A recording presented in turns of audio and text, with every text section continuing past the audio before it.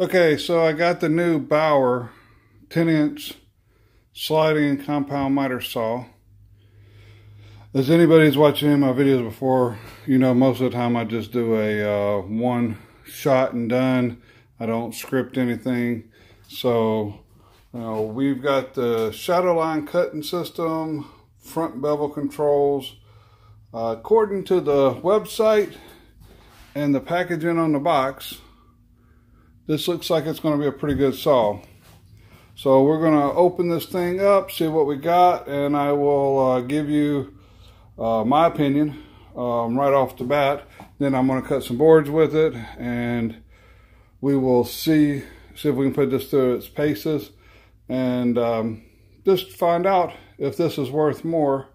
Um, as you can see, I've got the old uh, Chicago Electric 10-inch sliding compound miter saw back over there.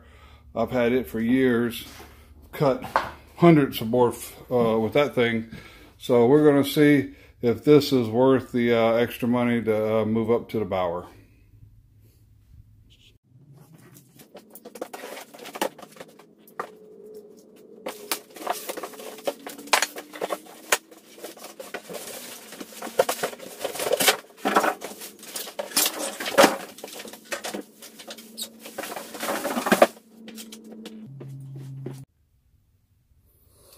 Okay, so for the little side wing right here, we've got a nice little uh, notched groove. And that slides in. We obviously got our little set screw right here. This is the first time I put it on. Normally it probably wouldn't need that tight. Uh, but I do notice here we have um, it's like a set screw there I guess maybe to tighten that up. Um, we've got the fence extension on this side. So that looks good. Let's um, saw is in the locked down position.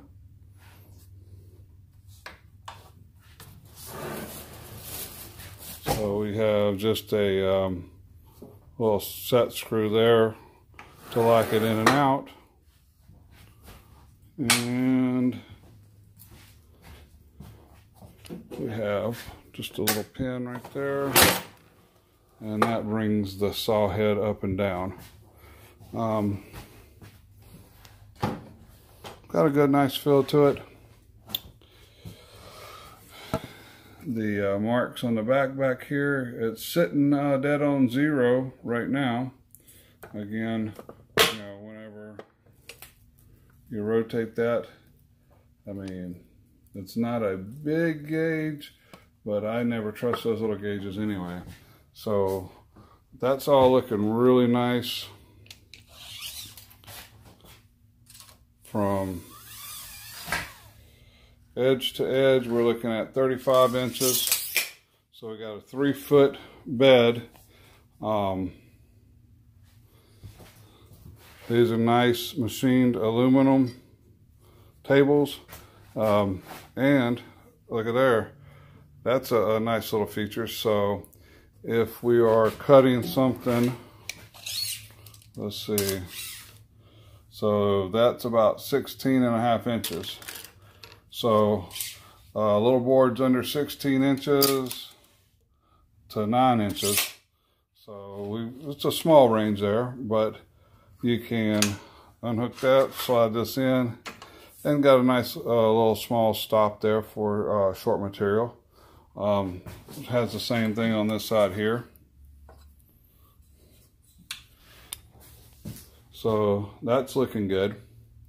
Now, this saw does not come with the blade, which I actually prefer because that way you're not paying for a blade you don't want.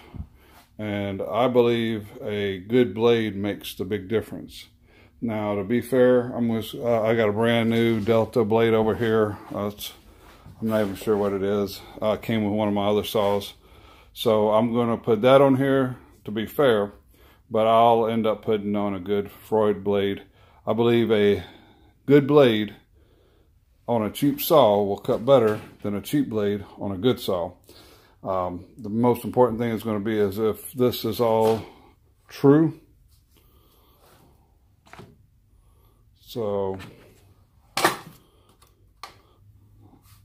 so a little stop there. Um, that actually feels pretty solid. Let me rotate this down a little bit here. So you actually got, can rotate this down and then you got a little lock right there. So this little um, piece that flips up and down, now it is plastic. Um, I like this way much uh, uh, better than what was on the uh, Chicago Electric. It is um, pretty solid. Um, it would have been nice uh, if you can you can see right there. See, um, so there's some um, little slop in here. It's uh, man, this is such a good idea. If they would have just um, put something, uh, a shoulder bolt in there with a uh, metal piece or even a plastic piece that um, was a, had higher uh, tolerances than that. But okay, well, there's my unboxing and my impression. So let me get a blade on this and get it mounted down on the stand. Oh, and something else that I did notice here, um, I haven't had this on any of my other ones, that this saw actually has, I don't know if you can see that, rubber, the, uh, so there's four rubber little stoppers right here. So, like I've got this just sitting on top of this uh, table saw. Um, and now, like uh, just grabbing, now that's not in any grooves or anything. That's just sitting on the tabletop, uh, which the uh, saw up here the wheels are on. But um, just grabbing by this, I'm pulling my whole table saw. This thing uh, has a great grip if you're just setting this up on a um, bench top or something. Uh, I'm not going to do that. I'm going to bolt it down. But uh, most of them, I've never seen them that had the uh, rubber stoppers like that. So that's another really nice feature. All in all, so far, uh, very impressed with uh, all the features I've seen on this saw. Okay, so I just got the saw out of the box, got it hooked up to the stand. That way um, we can uh, test this thing out properly and safely. I gotta say, I really um, am liking everything I see so far. So I'm gonna stick this blade on it real quick. It looks like we actually have to have a screwdriver to take the blade cover off in order to replace the blade.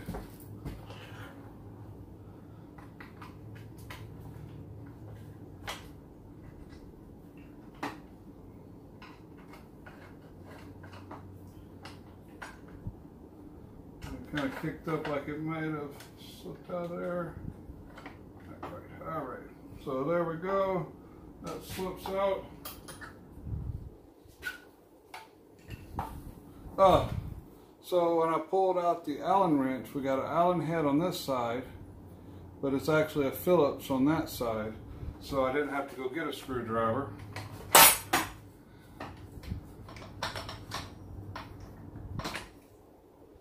Don't forget this is a left-handed thread. So righty is loosey and lefty is tighty.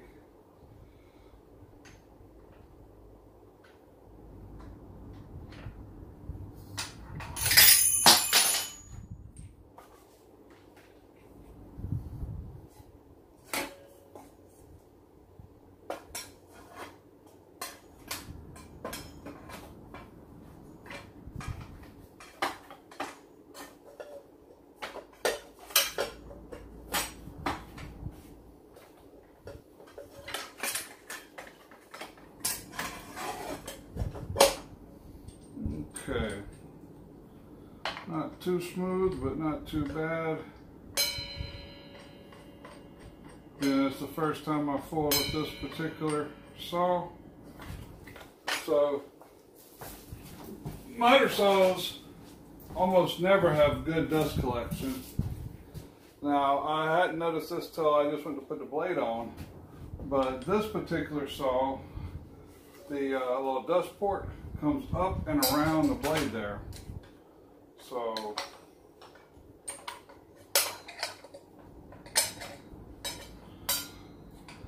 if you were to use dust collection, go, spindle locked. Uh, this probably would work pretty good for with uh, dust collection.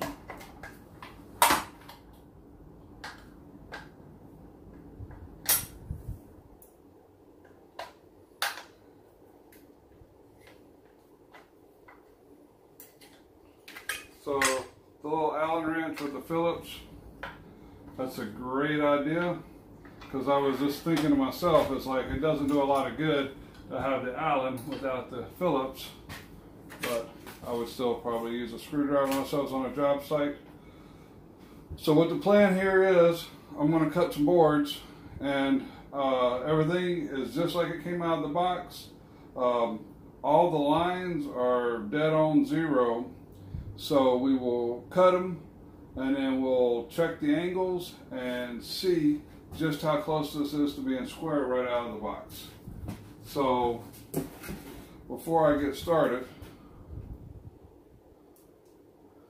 all right, let's just check the fence right here.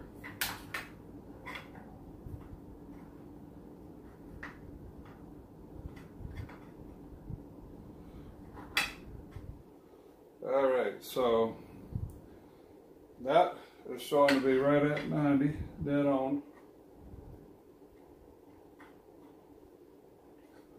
Over here, I'm at 90.2. Um, that one there came up dead on 90. And that one's dead on 90. Let me re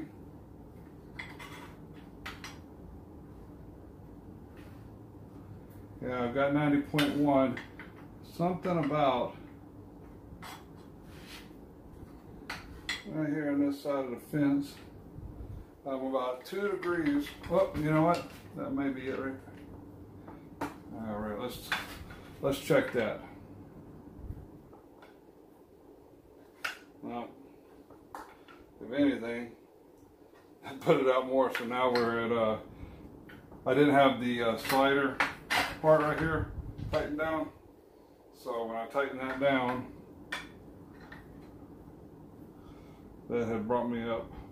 Now I'm still at 90.3. I mean, we're less than a half a degree on this side. This other side here is dead on. So let's take a look at the blade here.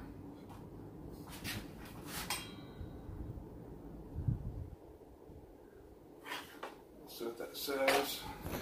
That's 89.8. 98.8. So everything I'm seeing just right off is um, within 0.2 degrees of being square, but we won't know for sure until we cut some boards. So I'm gonna hook up. Uh, it's not the best to run these off an extension cord. There is a chart um, with your load and uh, the size of the cord. I've got a little 14 gauge cord here, which as long as we're not under full load and we're under 25 foot, which we are, we can do that. If you're going to be going 50 foot or you're cutting, you know, thick uh, 2 by 12s, 2 by 10s, um, putting this thing under a hard load, you definitely want to get a 12 gauge cord. All right. So this board here just happens to be 12 and a half inches, which is the maximum that this is supposed to cut. So uh, let's go ahead and make a few cuts. We're going to do the five cut method. Um, something that I noticed here Ooh, that's the first time I turned that on, but that um, that looks pretty good there. That shadow line. We'll have to see it in motion because I can actually see the carbide tips as they come down. Um, and that's nice because with the shadow line, it's also lightening up um, a um, piece of wood here. So the trigger, you can't just grab. There's a thumb release, and then you have to pull with your finger. So there's a two-step safety on the um, trigger here, which, you know, safeties are fantastic as long as they don't slow you up and get in your way, because then you take them off and throw them away and don't use them. So this looks like a pretty good safety. So let's make our five cuts and see what happens.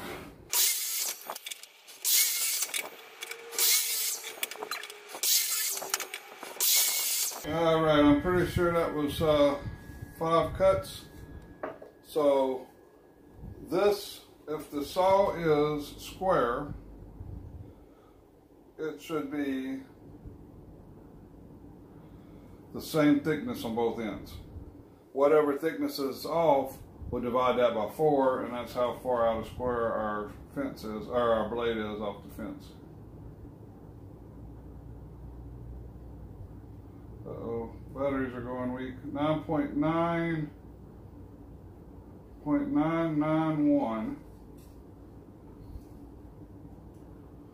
point nine. So it was point So nine nine one, nine nine and the other one nine was nine. point nine two. So it was actually seven hundredths out, and then you would divide that by four, which is almost two hundredths out of square. All right. So I'm just gonna double check, make sure I'm at zeroed here. So um, let's just uh, do a quick check right here on mounting. Let's make sure I'm locked. All right, so that's all locked in.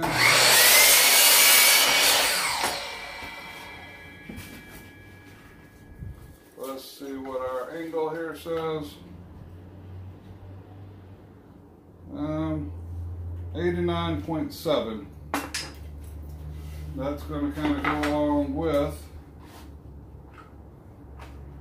what we were uh, finding when I was doing the um, five angle, uh, five cut to check the fence for trueness. All right. And let's go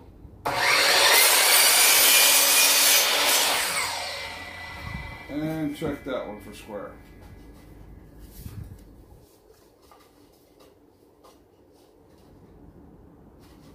Now that one is dead on 90. So, um, which when we checked our fences, we were 90 there. So our side to side is uh, almost perfect. Um, we just need this fence needs to be adjusted just a, a fraction of a degree. So let me see if I can get that adjusted out and we'll come back in a second.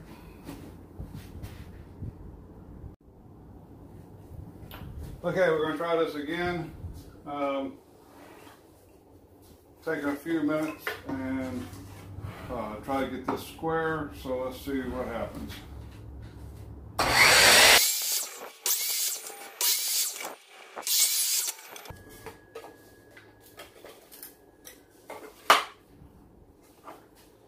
All right, I believe that was four cuts.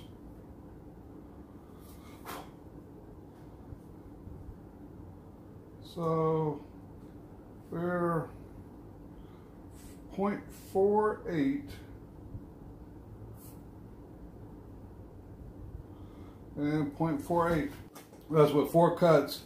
That means that um, you would divide the difference, which we're in thousandths. So that's set up good. So let's try some angles again and see what happens here. So let's go ahead and throw this on a 45. I'm going to use that shadow line. I'm going to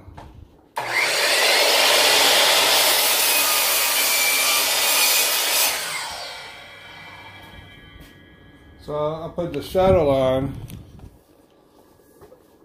right there and was wanting to split the uh, corner. So I did a pretty good job of splitting that corner with the shadow line.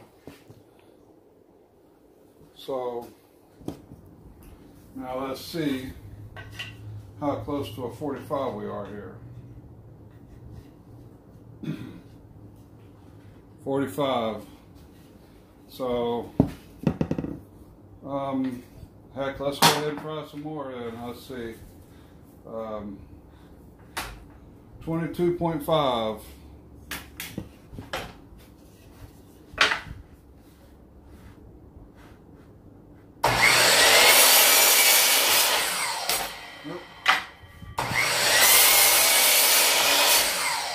Got a little carried away there, didn't go all the way in.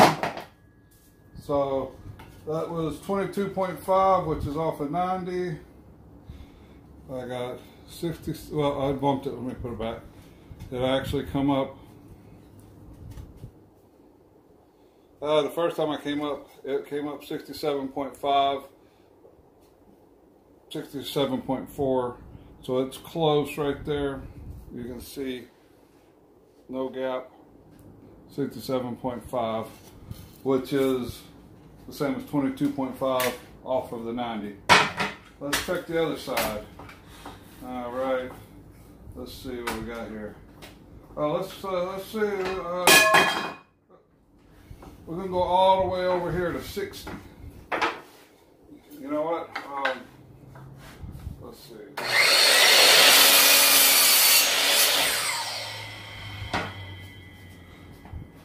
Uh, that is a significant cut.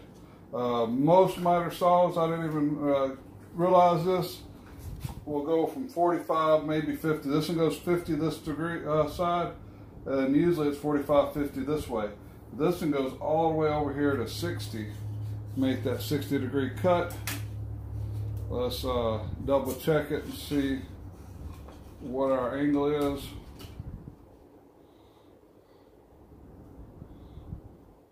All right. So it comes up exactly 150. Boom. So uh, the 150 is off because we're, this thing is going to be reading 90 this way.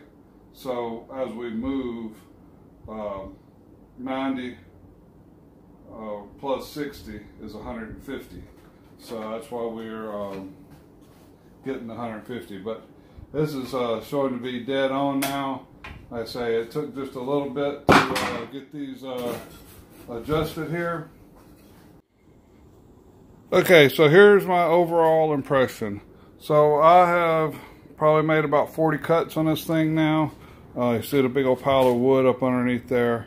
Um, it's uh, everything's looking good here. Um, I had to get the fence squared. Uh, the instruction manual says how to square the fence up. So just because it was off a half a degree, um, that's going to happen no matter what kind of saw you get. Um, but it had the instructions on how to do it. One of the great things was that the tool right here to change the blade was the same tool that it took to square the fence. I've got this thing, I have you seen me, I've made multiple cuts, all kinds of angles, and every one of them are coming up um, dead on. So these little detents, um, you know, uh, that's your detent lock right here. Push that down and then that locks it in. You can move it freely or you pop it out and then that locks in and that's 90 I checked about five or six of these you got 22 and a half all the way up to the 60 all those were dead on after I got it squared up. Um, now I don't bevel uh, my blade a lot but having uh, this bevel lock here where you can unlock that and then rotate you know the, the saw um, is definitely very handy. Um, I uh, did check it once because uh, there's a stop uh, right here at 90 and that was dead on 90 um, right out of the box the um, shadow line so there's a little switch right here and uh, that's your on off switch for the shadow line and then what that does is that throws right where your blade is a shadow down. And as you get closer you see it actually um, is the exact width of the tooth. So I'm gonna turn this on real quick. But you see once the blade starts spinning it um because right now you can see the individual carbides on the teeth. But once the blade is spinning then that actually I don't know what's a good way to get to show it but uh,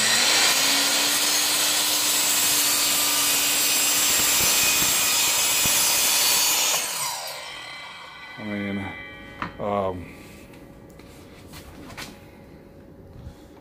that shadow goes right there where that blade is. So now you can't see it because the blade's been cut out. Um, definitely like that shadow line. Um, now this here, you have to push this because it won't let you push your trigger unless this is pushed down. See now it'll. Um, but uh, so you have to have that.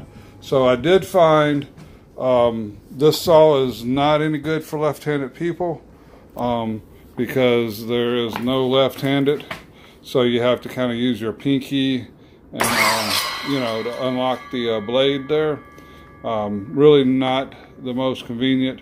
So if you're trying to, for whatever reason, um, you know, cut off uh, a board and um, you're coming in on the right side here so you're holding the board with the right hand and then you're trying to um, you know bring the saw down with your left hand that is the only uh, thing that I really found uh, that uh, wasn't jam up on here um, well and then the uh, depth stop here is a lot better than pretty much any other uh, saw I have but it is plastic, so there is just a little bit.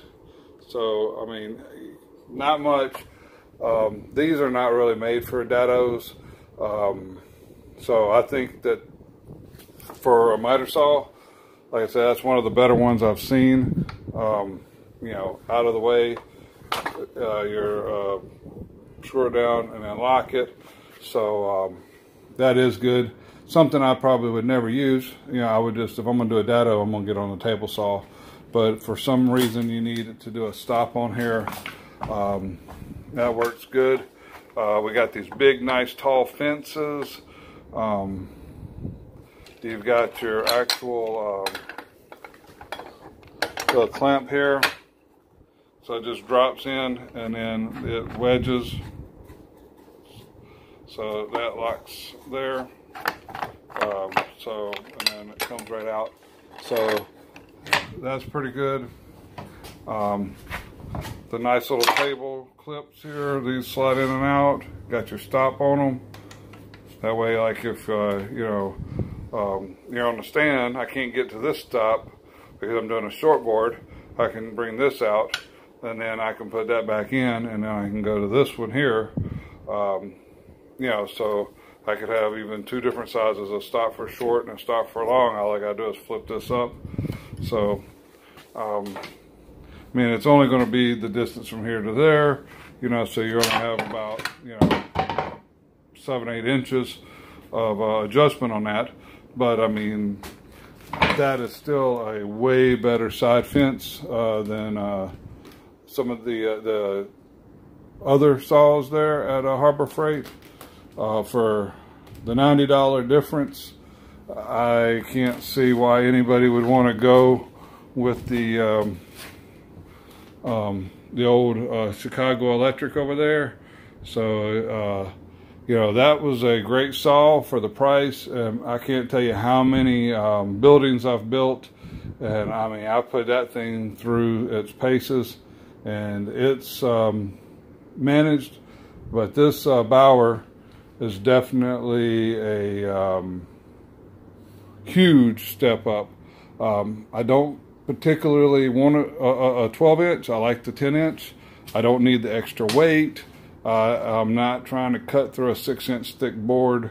So um, if you're mainly, I mean, this thing will cut a five inch uh, molding straight up and down. So, I mean, it's got a, a good three and a half inch um, cut uh, vertical. So, um, 12 and a half inch horizontal.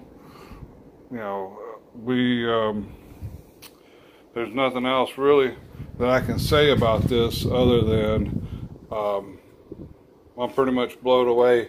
Uh, most of the time, it's not that I complain, but I can usually find something that can be better. Uh, this saw here, um, being that it's one of the first ones out, uh, I was thinking that maybe there would be something, and I am not seeing it. If there is, um, everything, you know, you this is your to go over 90 on your bevel. You know, that locks it at 90, and then you can tilt to the right if you want to tilt, or to the left. If you want to tilt to the right, you pop that out, and then you can tilt to the left, or vice versa. You know what I'm saying? So. Um, um, that's good because I was thinking it's like why is it there but then that way whenever I tilt it I can come right back up to 90 I don't have to look you know, I've got a positive stop at 90 so um, uh, everything you see it here it is it's got all the bells and whistles it's got your wrench holder it's even got your little cord um, gonna lock this down here uh, where you can wrap your cord up here the little hooks kind of like the old vacuum cleaner, you know. We can uh, put our cord up here. It's got the little uh, snap lock on the plug there. So that's nice and neat for transport. Man, um, for $200, 219 whatever it was, uh, I can't believe it. And then uh, right now, I've just got a uh, just a cheap, uh, uh you know, common blade on here. I'm gonna get me a, a, a, good blade, but even with this little blade here, I'm getting some pretty good cuts. Um, I mean, you see this pile up here on the floor. Um, there's a lot of sawdust, but I mean, this is some uh, fine plywood there with, um, you know, it's like, um, I don't know, birch or whatever it is. But um, this isn't even a uh, plywood blade.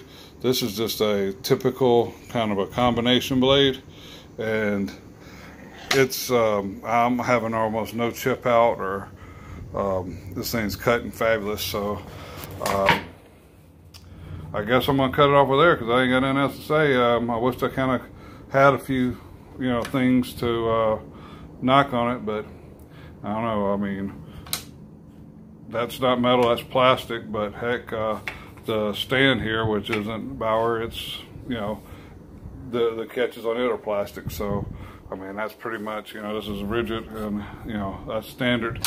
So, um, but this here, this is metal. This isn't plastic. That's a, a good solid metal right there. Um, this handle here is plastic, but that's uh, metal good solid. The finish on this, everything, you know, is like precision ground on the table. The fence, I don't know, it's got kind of a, a pattern to the way that that was ground, but I'm assuming they did that for a reason. We'll find out. But um, if you get this saw, I don't see how you would be disappointed. Uh, just be sure, you know, uh, get you a, a, little angle finder here um, I like to have a micrometer. Um, when I first started woodworking, you know, I had a tape measure. I didn't even have a good tape measure, but um, uh, you get your micrometer and get this thing dialed in. And because, uh, like I say, before with it being a fraction of a degree out, I probably would have never noticed it. Um, but then whenever I start building things, it'd be a little off. Um, with this and the instructions, I was able to get this uh, dead on. And so now I'll rotate this down here. You know, this stainless steel, nice and shiny, smooth. uh, good solid lock in. The numbers, maybe if I want to try to point something out, the numbers are kind of small back there, but that's just uh, the way it is. You know, unless that was bigger, you know, there's no way to print those numbers bigger. But um, uh, so I'm gonna uh, go here, and uh, please drop me a comment. Tell me what you think. Uh, if you buy one of these, come back, put a comment down there, and tell me uh, um, you found something that was different. Um, we do have the easy access for our brushes there. There's our spindle lock. Um, you know, everything on here. I said the, the handle, great for right-handed. Maybe if you're left-handed, that's the only thing I can uh, think of that's a little tricky. Um, but, you know, safety is always a good thing. And um, I just find it a little bit peculiar when I try to uh, pull that trigger with the left hand. So I wouldn't necessarily call it ambidextrous, but I was able to pull it with my left hand. So until next time.